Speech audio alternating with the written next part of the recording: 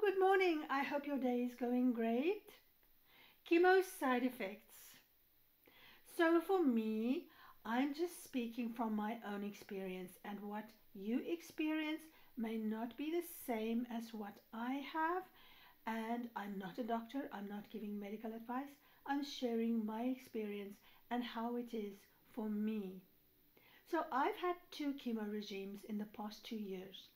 First, I had Folfox, which is leucovorin and oxaliplatin, as well as fluorouracil, those three chemo drugs. And the oxaliplatin for me caused tingling and numbness in my hands and feet. Fortunately, in my hands, it went away.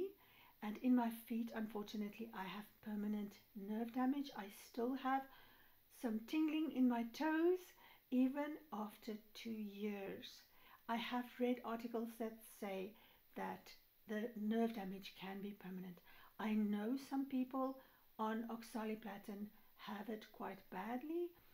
One woman that I know has tingling in her legs up to her knees and it's quite severe. And another side effect is that you can get sores and redness and infection in your mouth.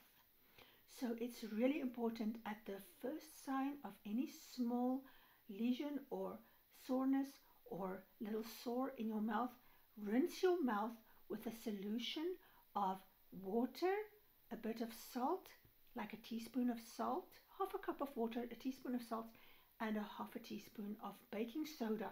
Don't swallow it, just swash, slush it around, mix it well, Make sure it dissolves, then slush it around in your mouth for a few minutes and then rinse it out, then rinse your mouth out.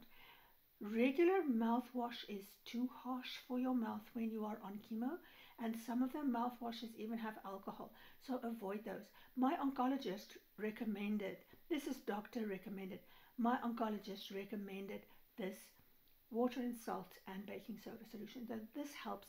I've never really had sores in my mouth due to this quick intervention. So last year I was on FOLFIRI, which is a different chemo regime, and I had fatigue, a lot of fatigue, more than on Folfox, and I had a lot of diarrhea, unfortunately. And that can cause you to get dehydrated. So you need to make sure that you hydrate properly.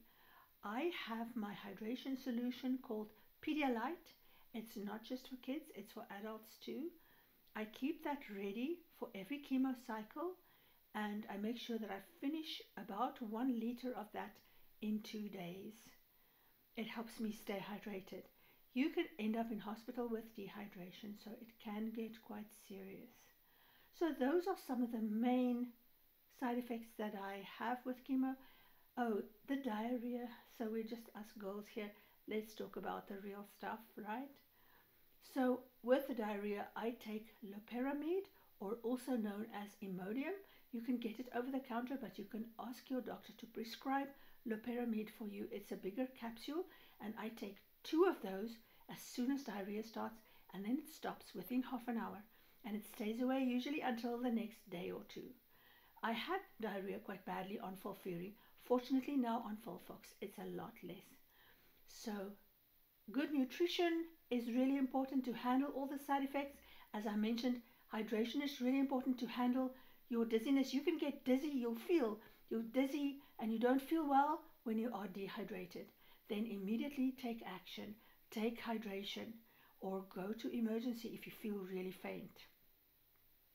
And the fatigue, I take my rest. I work in the kitchen. I have meals to prepare for my family, but I take it a little by little.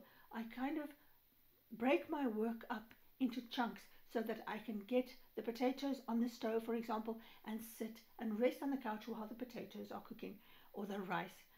I am strategic and I also keep a chair in the kitchen by the stove so that if I need to sit down, I can sit down. Little strategies. You have to be smart and practical. I hope this helps. Have a wonderful day. Stay safe, stay blessed.